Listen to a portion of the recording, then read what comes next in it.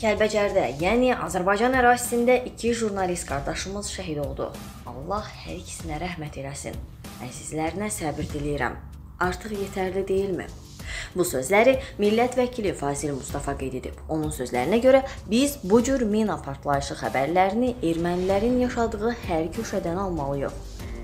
Bizim ərazilərimizdə bastırılmış minaların 10 qatını Ermənistan ərazisində, 10 qatını da erməni separatçılarının yaşadığı Azərbaycan ərazisində bastırmalıyıq.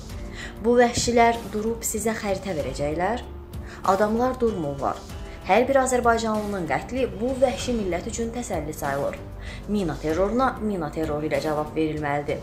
Bunu bacaran oğullarımız var, mütəxəssislərimiz var. Bu millət cavab görməyincə durmayacaq. Terroruna terrorla, minasına mina ilə, yumruğuna yumruqla cavab verilməlidir deyə Fazil Mustafa əlavə edib.